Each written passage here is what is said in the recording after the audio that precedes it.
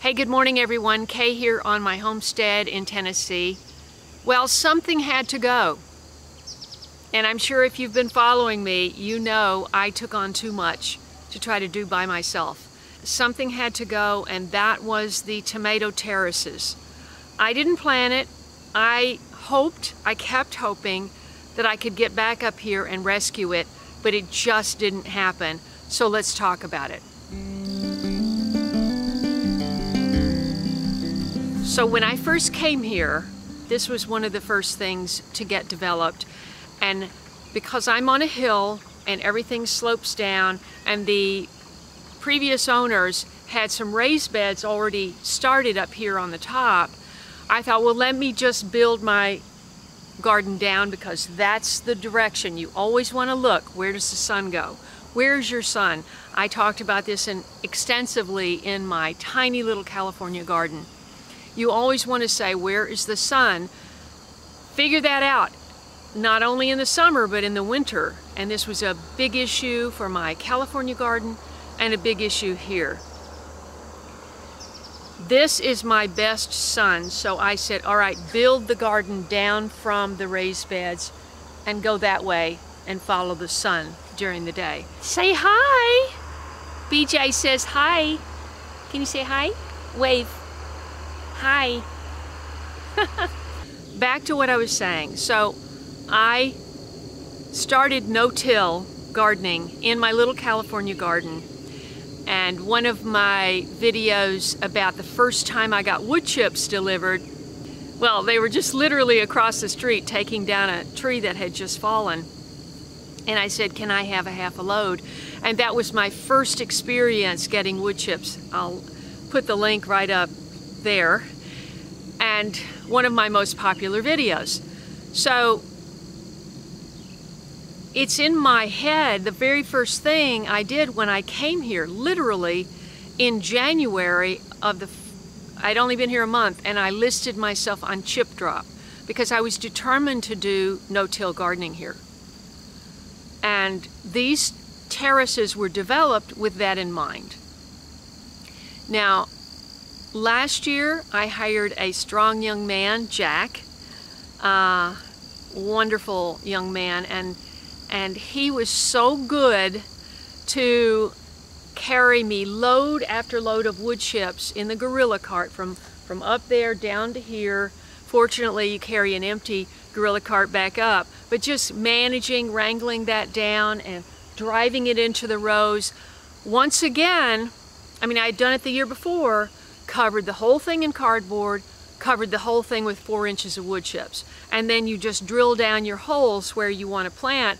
And then inside, because that's very clay, soil, uh, I had topsoil delivered. The whole thing was built up into two terraces, okay?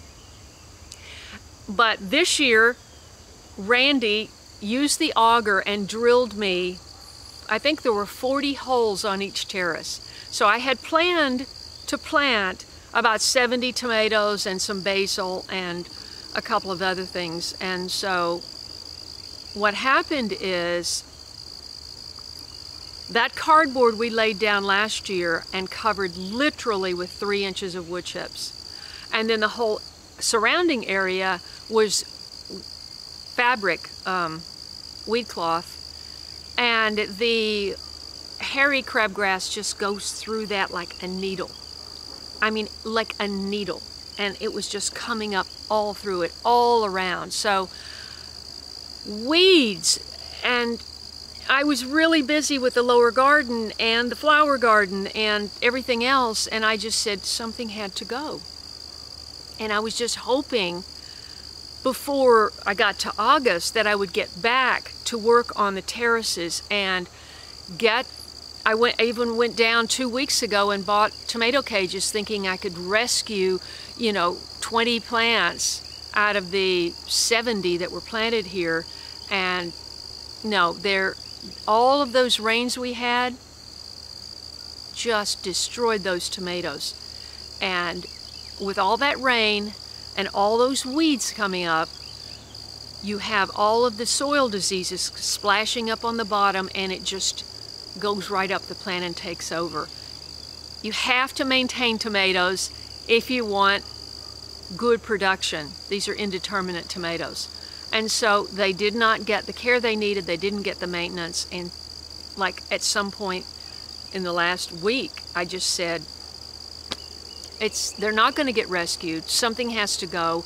I am not going to have the perfect garden all around that I wanted, and I had to just cut this loose. So yesterday, the weeds were literally knee-high on both of these terraces. Three or four weeks ago, Randy was here, and I said, the weeds were so bad up here and the tomatoes looked worse up here than they did down there and the weeds were less down there so he decided to till this it's the first time it had been tilled since before it was first planted in 21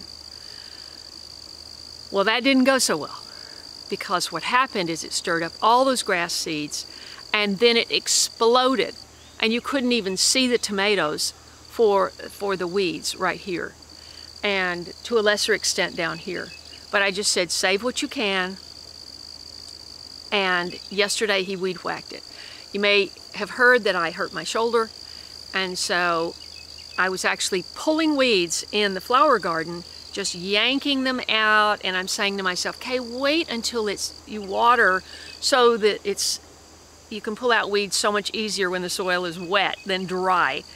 And I said, no, no, let's just get it done. Let's get it done. So I'm doing this. And then later that night, I felt like, you know, it was hurt. So, so yesterday he was here and he weed whacked both terraces. This wonderful pepper plant, wonderful basil plant, two scrawny little tomatoes, and the red Malabar spinach on the top terrace. That's it. So the question is what to do now? You know, we're going to have a heat wave for the next 10 days. It's no rain, 93 plus, could go up to 100. A lot of the weeds are going to die, a lot, you know, the lawn's going to die. So I won't have to worry so much about weeds getting out of control in the next week or two. So I have to decide, do I cover this again? In order to get wood chips down, to cover these terraces, to start all over, I have to hire someone to help me. And finding someone just to do labor is not so easy. Um, because everybody's busy. Everybody that wants to work has a job and is busy. And I can't do it. So the question is, what happens to these terraces? You know, I worked so hard and I spent so much money developing them and doing the one string method, putting up all the T-posts, you know, having help to do that. And so do I just let it all go? What do you think? I'd love your feedback. What can I do with it now? I'd love to actually, if, you know, in my wildest dreams, I would love to have a greenhouse sitting right there, but it's in my front yard. You have to consider it's your front yard. If you want to sell your property, are you going to have some hoop house in your front yard? No, it has to be something pretty and that means well built. It needs to have uh, radiant heat, some kind of heat, and it has to have electricity and water. And all of those things cost money. And it needs a good foundation because this was just, I just brought in topsoil to dump on here to level this out because all we were going to be doing was walking on it. You know, it wasn't going to be a building sitting on it. So foundation has to be built and all of that. So we're talking about lots of money. So, but this is where the sun is. So um, let me give you a, a look at the, that was not a gunshot. That was something like a walnut hitting my the metal roof on my shop, which sounds like a gunshot. Hang on. Now I had every weed out of this blueberry patch. And this was also covered in cardboard, and then four inches, at least maybe six inches of cedar wood chips. And he did that last year as well. And you see how this nut grass and the crabgrass, everything comes up through it. So it, the weeds are tenacious, and I don't know if, if weed cloth doesn't do it, and card layers of cardboard doesn't do it, then then what do you do? You know? So here's terrace one. We'll walk in here. And this is what happens to weed cloth is this was all, the outside was all, a whole band of it around. And it just gets chopped up in the weed whacker. This is one pepper and I don't know if there's a tag buried down there, but look at the size of these leaves. I've never seen pepper leaves that big. So I would love to know what this variety is, but maybe we'll find out at some point. So there's two actually. Oh wow. So there's two peppers and we have peppers to harvest here. This looks like another sweet chocolate. And this looks like a clump of weeds, but maybe he thought there was something growing in there. Oh yeah, there was a pepper in there. Look at that.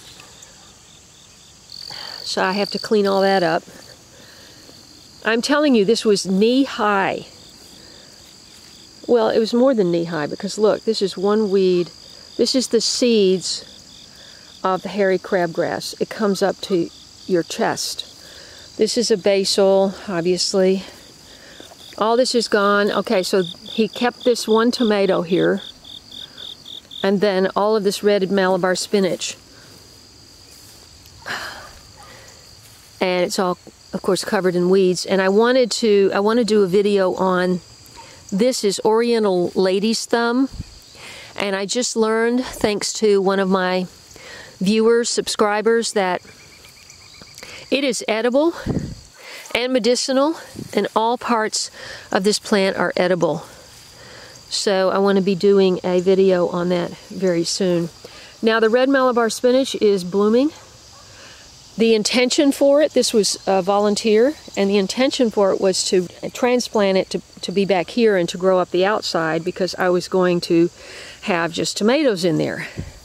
Since that didn't happen, yesterday Randy said if we move it at this point, it'll probably kill it and it dies back in the winter anyway so I'm just going to leave it collect some seeds and I'm going to keep using the leaves for